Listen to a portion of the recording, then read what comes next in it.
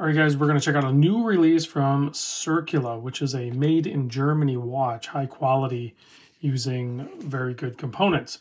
This is the Circula Protrail Anti-Magnetic. This was a design that was picked via the fan base. It was kind of voted on, and this is where they landed. And let's just uh, zoom in and talk about the size, and then we'll cover the specs like we standard video that we do here. So Case width 40 millimeter.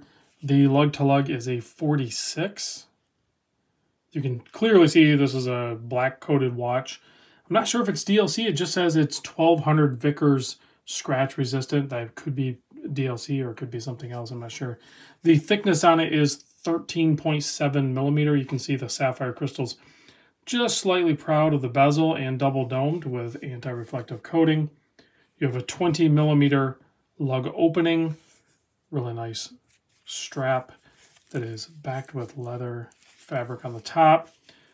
And you have a 6.5 millimeter screw down crown signed, keeping the 150 meter water resistance on this. Inside this watch is the Sellita SW200. Very nice pop. I don't know if you caught that on the crown when you unscrew it. Of course, you'll be able to wind it in this first position, very smooth wind. And then we can hack the movement and adjust the time. Super legible handset and dial configuration on this thing. I'm going to go ahead and set it for about mm, 910. Oh, somewhere in there. Very little crown wobble. Go ahead and screw that back down. This is, of course, beating at 4 hertz. You can see there, nicely applied lume sunken center portion of the dial. Anti-magnetic, this actually has a soft iron Faraday cage on it, keeping the 80,000 amp meters uh, anti-magnetic properties going in this thing. So really good field watch. This is number 44 of 99 is what the caseback says. I don't know if that's accurate or not.